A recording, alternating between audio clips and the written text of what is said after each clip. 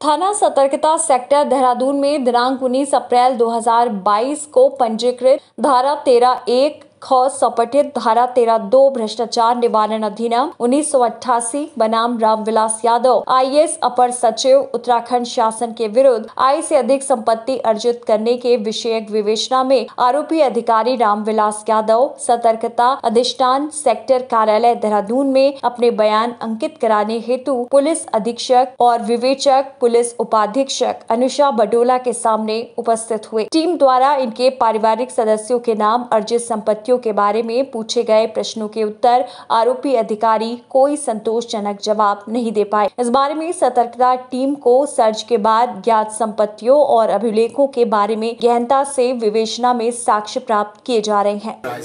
देखिए, इसमें जो हमारे आई अधिकारी हैं रामविलास यादव जी, ये, इनके विरुद्ध हमें मुकदमा दर्ज करने की अनुमति जब मिली थी अप्रैल मई मई 2022 में।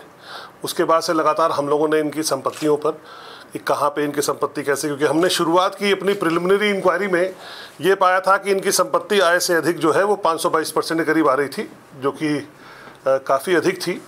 तो इसलिए हमने शासन से अनुमति मांगी थी कि इसमें हमें मुकदमा दर्ज करने की परमिशन मिले, जो हमें मिल गई।